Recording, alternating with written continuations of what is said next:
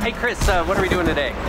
So we're in Tasmania, meeting with the University of Tasmania. We recently formed a partnership with BYU and UTAS to do essential oil research. So we're headed there right now to uh, you know, meet with the, the professors at the chemistry department.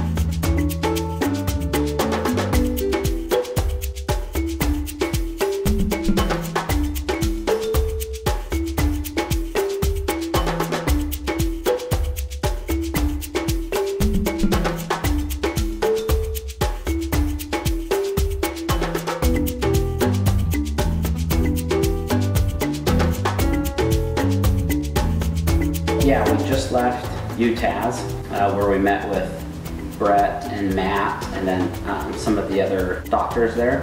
And I was really encouraged. I felt like we're in really good hands for essential oil research going forward uh, from people who are passionate about it and clearly experts in the field, like the best, the best of the best. You know, for us to learn more, for, for most part, to pass that on to the customers so they can learn more, that's exciting.